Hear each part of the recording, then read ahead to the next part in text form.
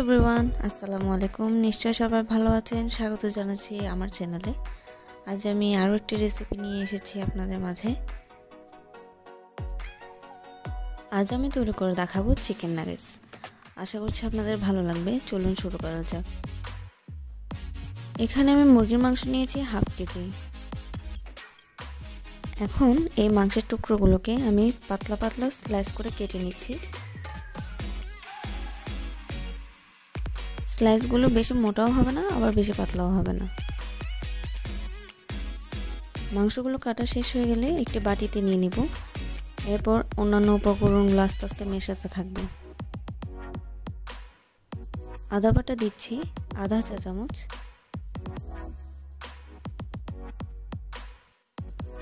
সরাসরি পেঁয়াজ বাটা না দিয়ে আমি এখানে পেঁয়াজ বাটা নিংড়ানো পানি দিয়েছি, দুই টেবিল চামচ। রসুন দিয়েছি এক চা চামচ। হট সস দেড় টেবিল চামচ। লবণ স্বাদ মতো। প্যাপরিকা পাউডার এক চা চামচ। সাদা ও কালো গোলমরিচের গুঁড়ো, এক চা চামচ। কালো গোলমরিচের পরিমাণ একটু বেশি হতে হবে। ভিনেগার এক চা চামচ।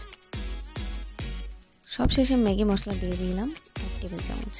সবগুলো উপকরণ দেওয়া শেষে ভালোভাবে হাত দিয়ে মেখে নেব।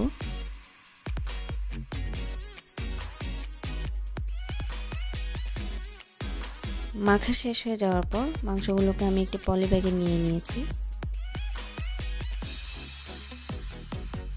ব্যাগে নেওয়ার পর যতটুকু সম্ভব হাত দিয়ে ছড়িয়ে দিয়েছি, এরপর একটি বেলুন দিয়ে হালকা থেতলে দিয়েছি। অতিরিক্ত মিশিয়ে ফেলার দরকার নেই। একটু পরে দেখা যাবে এগুলো মাংস আর মশলা মিশে গেছে। হ্যামার ইউজ করার প্রয়োজন নেই, বেলুন দিয়ে করলেই হয়ে যাবে, শক্ত কাঠে দিয়ে করলেও হবে। আমরা জাস্ট একটি স্ল্যাব বানাবো, তাই সমান করার চেষ্টা করছি। দেখুন, এখন মিক্স হয়ে গেছে। এবার একটি চারকোনা শেপ করে নিব। এখানে সামান্য বাতাস জমে গিয়েছিল, আমি সেটি বের করে দিয়েছি। কোনো বাতাস থাকতে পারবে না। হাত দিয়ে চেপে চারপাশে সমান করে দিয়েছি। এবার আয়তকার একটি স্ল্যাব তৈরি করেছি। এটি দু ঘণ্টার জন্য ফ্রিজে রেখে দেব। এখন চিকেনগুলো কোটিং করার জন্য তৈরি করব একটি ব্যাটার। তার জন্য প্রয়োজন আধা কাপ ময়দা, আধা কাপ কর্নফ্লোর, লবণ আর চিনি স্বাদ মতো, একটি ডিম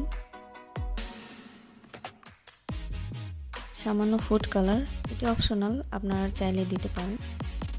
কোটিংয়ে যাতে প্রবলেম না হয়, তাই আমাদের একটি ঘন বেটা তৈরি করতে হবে। তাই আমাদের প্রয়োজন ঠান্ডা দুধ। আর দুধ একবারে দিয়ে দেব না। ঠান্ডা দুধ মিশিয়ে একটি ঘন বেটা তৈরি করে নিচ্ছি।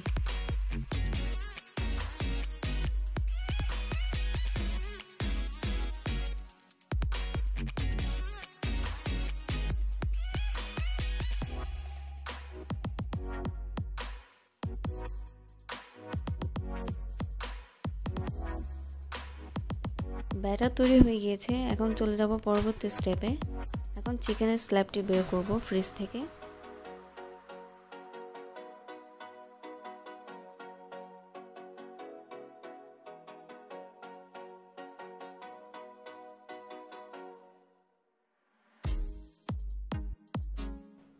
ফ্রিজ থেকে বের করার কারণে এটি এখন শক্ত। যে কোনো শেপে কেটে নেওয়া যাবে। আমি আগে দাগ কেটে নিচ্ছি, তারপর রেক্ট্যাঙ্গেল শেপে সবগুলোকে কেটে নিচ্ছি। ফ্রোজেন থাকা অবস্থাতেই এটি আমাদের ডিপ ফ্রাই করে নিতে হবে, তাই তাড়াতাড়ি কেটে এটিকে কোটিং করে আমরা ডিপ ফ্রাই করব। যে কোনো শেপে কেটে নিতে পারেন। আমি এখানে রেক্ট্যাঙ্গেল শেপে কেটে নিয়েছি, আপনারা দেখতে পাচ্ছেন। নাগেটসের পুরোটা আমি এতটুকুই রেখেছি। এখন একটি একটি চিকেনের পিস নিয়ে আমি ব্যাটারে চুবিয়ে নিব, তারপর ব্রেড কাম্পে গড়িয়ে নিব।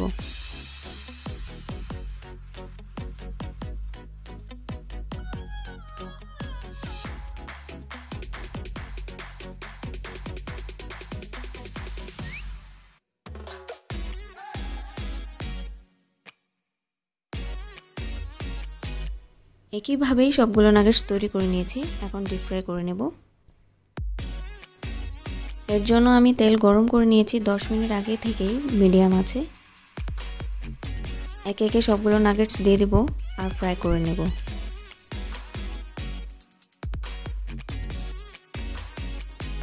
আট থেকে দশ মিনিটের মধ্যেই নাগেটস তৈরি হয়ে যাবে। ভিউয়ার্স, আশা করছি আজকের রেসিপিটি ভালো লেগেছে। ভালো লাগলে অবশ্যই সাবস্ক্রাইব করবেন। সাবস্ক্রাইব করার পর পাশের বেল আইকনটি ক্লিক করতে ভুলবেন না। আর এতক্ষণ যারা দেখেছেন, তাদেরকে অসংখ্য ধন্যবাদ। আর যারা সাবস্ক্রাইব করেছেন, তাদেরকেও জানাচ্ছি অসংখ্য ধন্যবাদ। সবাই অনেক বেশি ভালো থাকবেন। আল্লাহ হাফেজ।